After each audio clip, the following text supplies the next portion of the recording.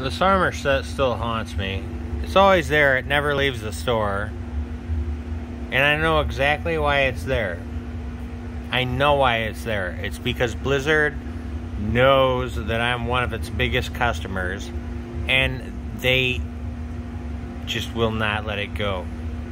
The only reason I give a fuck about this entire set is because it has the most revealing chest piece.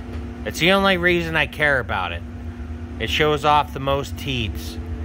I want that chest piece. God damn it. It sucks. I don't care about the helmet looks stupid, the arms look stupid, everything about the set looks stupid, but it shows the most teats. Look at that dumb helmet.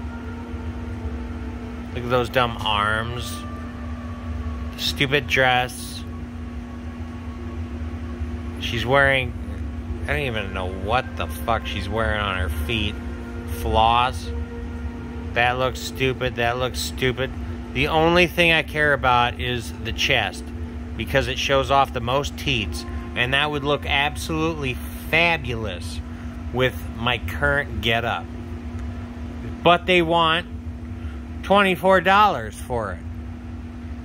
Now I have 800 in platinum, so that would require me to spend if I'm doing my math right, $16, right? $16 and I get I get to show off my teats more than anybody else. Oh my god. This game is a nightmare.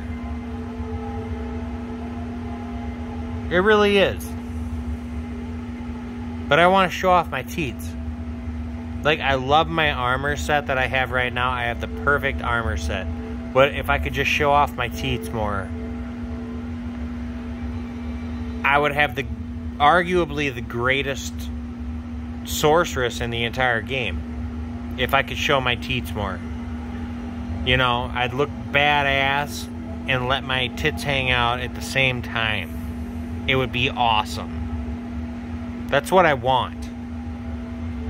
Stop flaunting this. I just wish it would I wish it would just leave the store. Just rotate it out with something else. I'm tired of seeing it.